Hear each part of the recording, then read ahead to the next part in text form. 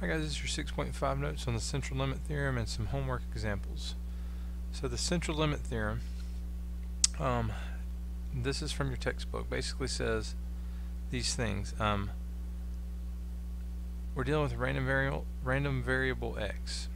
It may or may not be normal, has some mean and given standard deviation. Alright, we need to know those values to do a lot of these problems. And then we're going to take simple random samples all of the same size uh, are being selected from this population that we're drawing from. Okay.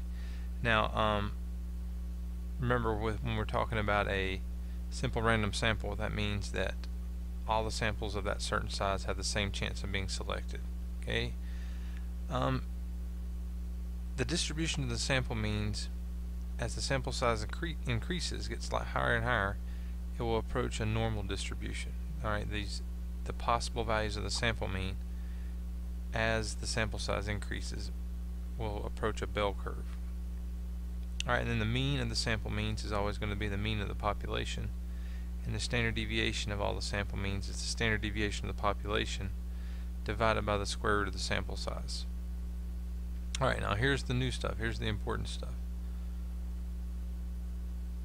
If the original population is not normally distributed, Okay, if we don't start off with a normal distribution, the common rule of thumb is if our sample size gets above 30, then the distribution of sample means will be approximately normal, right? Or we can at least uh, reasonably approximate probabilities with a normal distribution, right? So that's the key thing for you to see here. n greater than 30, the distribution of sample means is approximately normal okay? Um, and then the other thing is if the original population is normally distributed if we start off with a normal distribution then it doesn't matter what the sample size is then we're going to get a normally distributed uh, distribution of the sample means. Alright now let me give you a visual of what this is saying. Alright so right here this we're going to consider this a population of values okay? This is a population of values and this population is obviously not bell shaped. This is a histogram okay? Uh, I'm, I've designed this histogram to basically have the opposite of a bell shape. It's kind of got a U shape to it where it peaks at the uh, low values and then it peaks again at the high values. But the values in the middle where the mean is the mean of 15.78 that's right here kind of right in dead center of this thing. The median of 14 is a little bit to the left of it. So it's not perfectly symmetric but it's pretty close right but that's the mean right there in the middle. So what I'm wanting you to see here is the population original distribution is not normally distributed. Okay that's what this is saying right here. If we're starting off not normally distributed right if we get above 30 we're going to approach a normal distribution. So what I'm going to do here below it I'm going to start off with a small sample size, n equals 2. So I'm going to give you a, a visual what's going on here. So uh, two very small values were picked, one around here, one around here. And they were averaged, and then that mean, that little dash right there representing the mean of those two numbers, fell, and so we've got a height right here. The 3.56 was the average of those two numbers. Okay, so that's that's our distribution of, of sample means so far. We've only had one sample mean and it fell right there. Alright, now I'm going to do it again. Right, a small value was picked and a large value was picked. Their mean is right here. Okay, and it fell in there. Now, if I do this over and over again, I start building up a histogram. And these values, remember we're picking two at a time, the average is a number in the middle. And then as I do it over and over, the more and more I do it, I start getting all these different sample means uh, and, and where they fall on the number line. Alright, this is going from 0 to 32, so is this. Now, just to speed it up so you don't see every single sample, this gives us the ability to, to speed it up and do more than one at a time. So I'm going to do five samples and just notice how the shape of this thing behaves. So I just keep going over and over and over again and if you notice, the distribution is not bell curved. Okay, it's got a little bump and then down and it goes up again and then down and it goes up again. If I keep doing that over and over and over again, it it's not quite normal. Okay, we got a very small sample size. All right, we're not anywhere close to that magic number of 30 yet. So we're not seeing a normal distribution at all. Now I'm going to really speed it up. Right, and then jump to 10,000. And again, we're seeing something very strange looking. It's it's like this. Uh, it's wanting to peak here in the middle, and because it's symmetric, we're getting a lot of values at the uh, big values and a lot of small values in the population. When we average, because uh, there's a good chance of some small values and there's also a good chance of big values, we're um, they're kind of balancing each other out and we're getting a lot of sample means right here in the middle but we're also getting a lot on the ends and so we're not we don't see anything that looks like a, a normal curve yet. So now what I'm going to do is I'm going to increase the sample size. I'm going to just go ahead and jump up to 10 and then we're picking 10 values at random. And if I average all 10 of those numbers I get this number okay? And again if I do it again if I add up all 10 of those numbers and divide by 10 I get that number alright and as I keep doing this over and over again and again we're seeing the distribution of sample means now of size 10 and again I'm going to fast forward and start doing 5 at a time and now those values on the ends they're just not happening as often and why is that? Because we're doing 10 at a time. And so we're getting some from up here, some from down here. And even though they're not all that quite frequent, we're still getting a few here and there towards the middle. But again, the most frequent things happening are on the far right end or the far left end. But because they're balancing each other out, when we're averaging, we're getting a lot more values in the middle.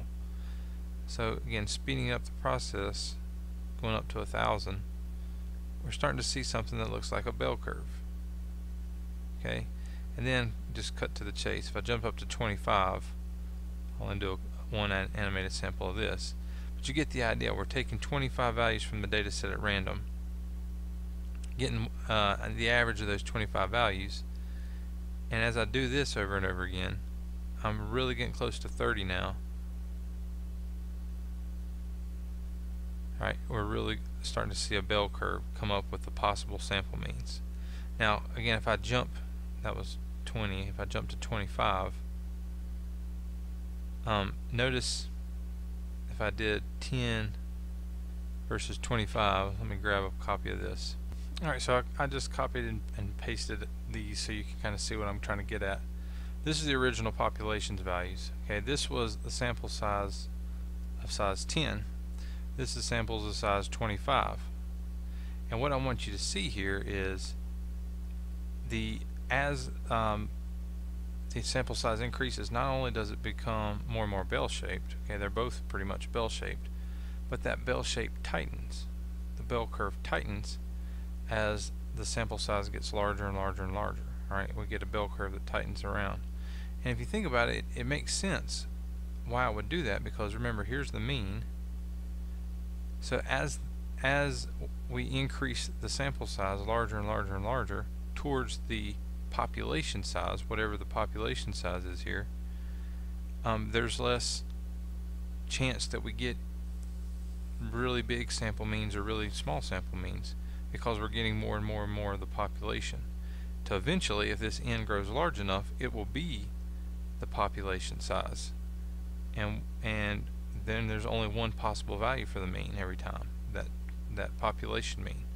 And this thing would just be infinitely skinny and just have one bar right there where the population mean is. Okay, so that's the other thing I want you to see. As n increases, that bell curve not only becomes more of a bell shape, it also gets skinnier. There's less spread in the data. Now, if you think about the formula that, that we get for the standard deviation of the sample means, that makes sense because as n gets bigger, the denominator gets bigger. Right? There's only one value that this can be. It never changes for the population standard deviation.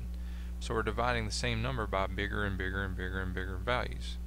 And if you think about how fractions work, um, one half versus one third, one fifth, 1 tenth 1 over a 100, what happens to these values? You know, as the denominator gets larger and the numerator stays the same, right? It, this has to stay the same because there's only one population um, standard deviation. The fraction's getting smaller, and it, actually it's approaching zero. And remember, this measures spread in the data, so that spread in the data is getting smaller and smaller and smaller to where eventually if we kept increasing the sample size there'd be no spread in the data. It all would just be the mean, the value in the middle. Alright, um, let's jump in and do an example of this stuff.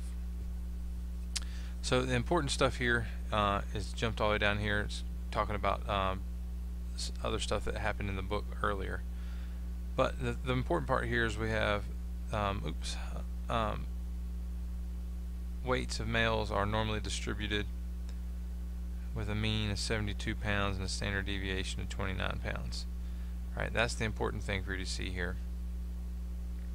Alright, and then the questions ask, find the probability that if an individual man is randomly selected, find the probability his weight will be greater than 175 pounds. Well, this is just a plain old normal CDF problem. If if this is just a plain individual from the data set, this is just normal CDF lower number, upper number, so we would do 175 as the lower number, upper number is just some big 99999, and then the mean and standard deviation, 172, 29. Right, and if we do that on our calculator, alright, we get 0.4588 or 0.459 to three places, and this is just like a problem we saw in, in the last chapter, or last section. It's just a normal distribution and we're picking a, an individual person from that distribution. So no need to adjust the standard deviation because it's not sample means. We're not looking at uh, the distribution of sample means.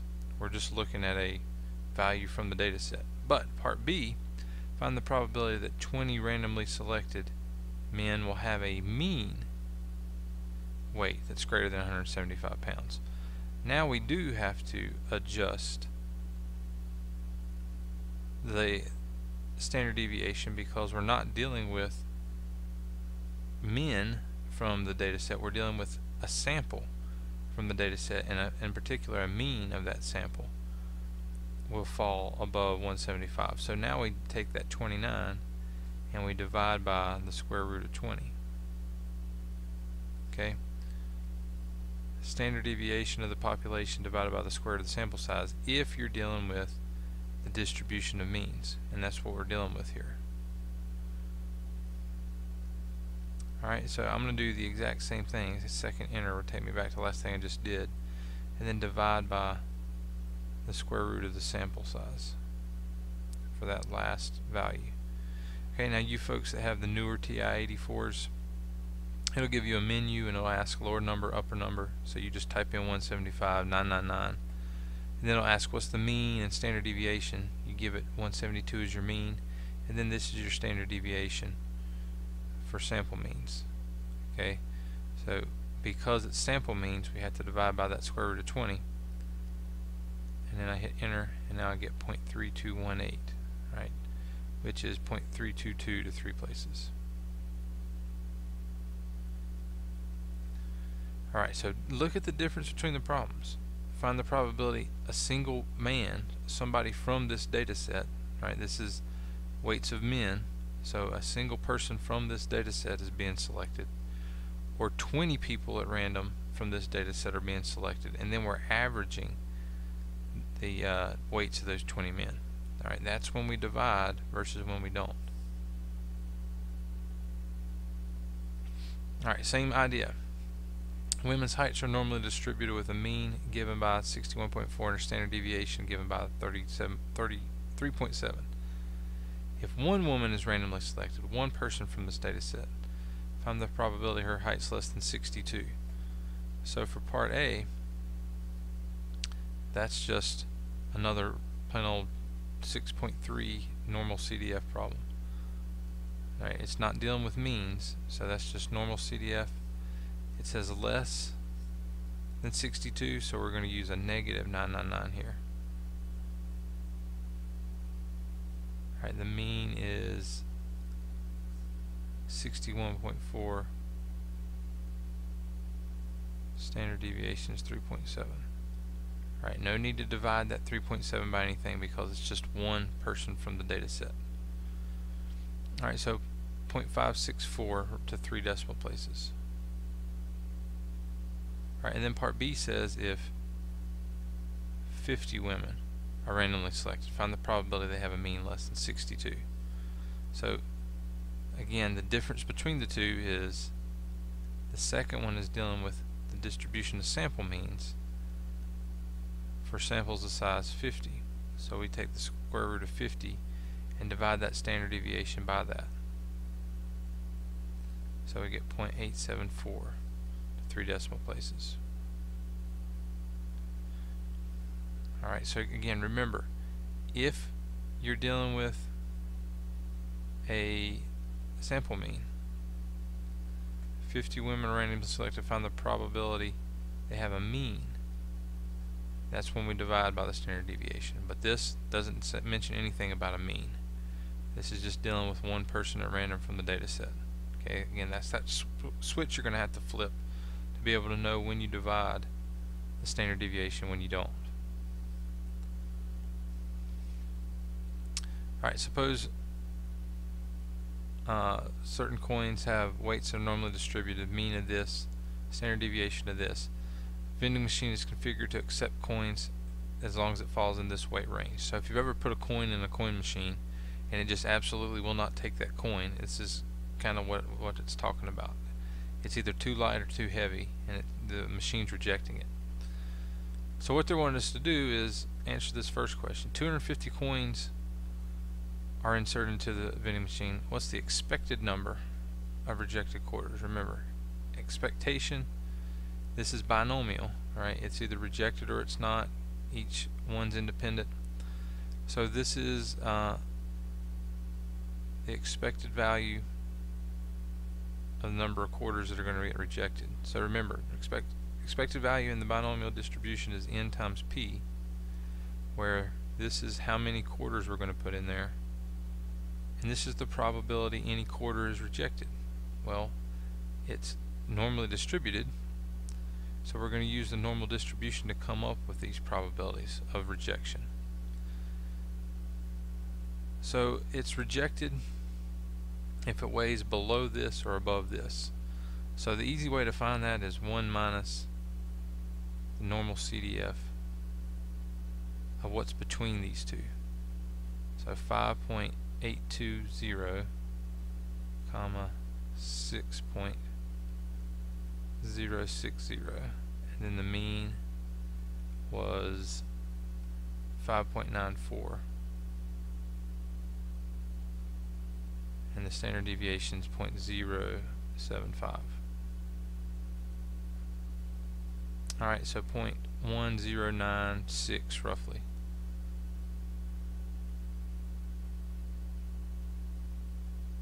Alright, so that's P.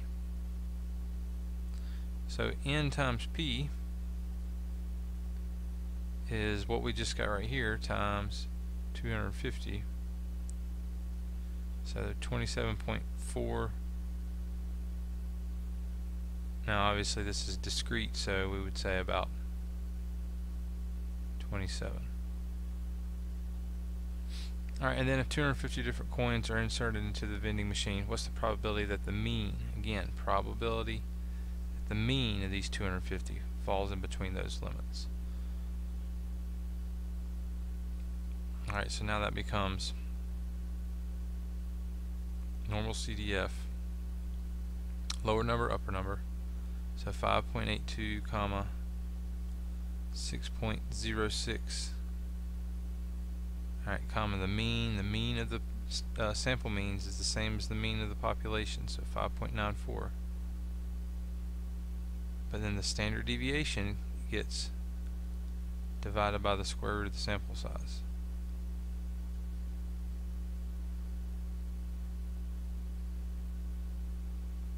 Now, you're going to get a, a probability of 1, And if you think about it, it we should.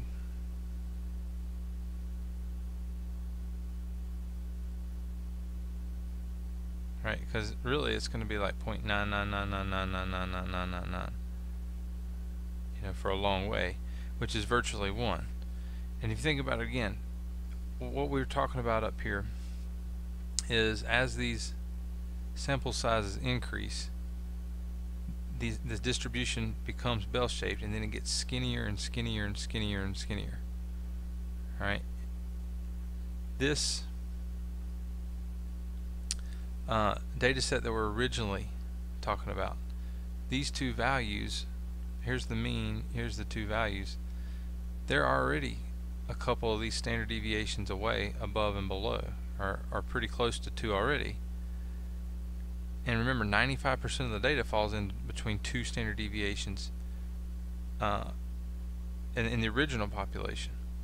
But we're taking this number and dividing by the square root of 250. We're taking this uh, value down way far. So these two numbers are going to be several standard deviations away from this mean when we are taking this distance uh, that we're measuring as the standard deviation and dividing by the square root of 250 alright just so you can see it 0.075 divided by the square root of 250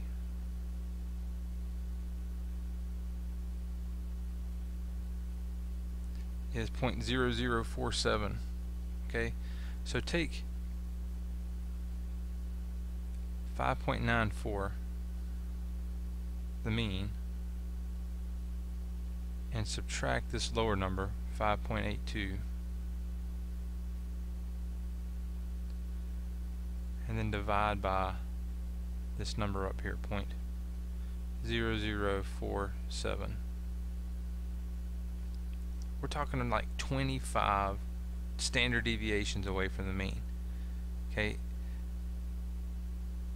You know everything's going to fall within that. I mean if 95 99.7 falls between 3 we're talking about 25 standard deviations from the mean. Everything's going to fall in there. Everything's going to. Alright another question.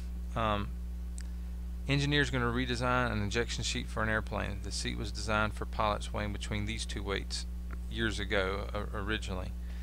But a new population of pilots has a normally distributed weights with this is the mean and this is the standard deviation.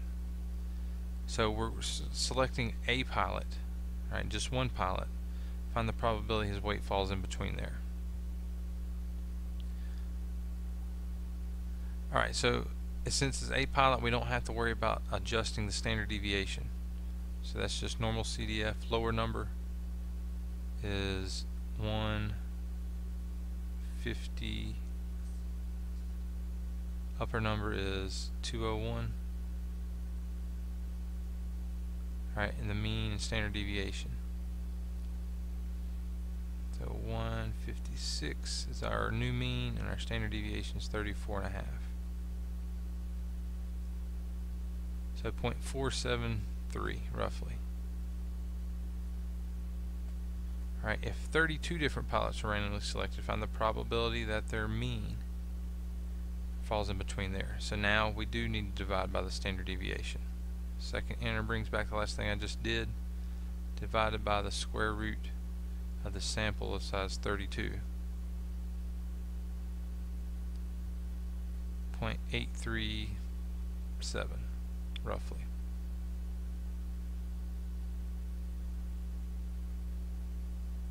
Alright, and then part C says, when re redesigning the ejection seat, which probability is more relevant?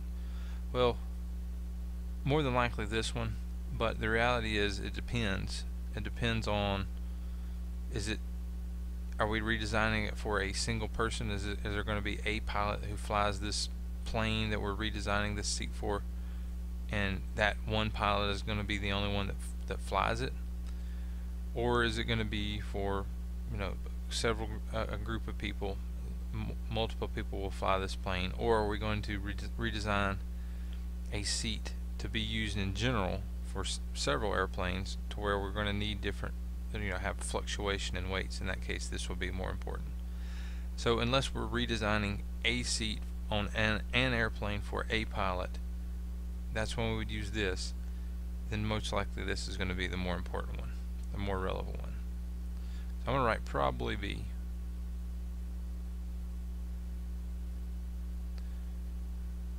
But it depends. Alright, but more than likely be. More than likely if we make something, we're going to have more than one person in mind. Alright, so that's um, your uh, your notes and some of your examples from 6.5. If you have any questions on this, just send me an email. Click on that Ask My Instructor button on your homework.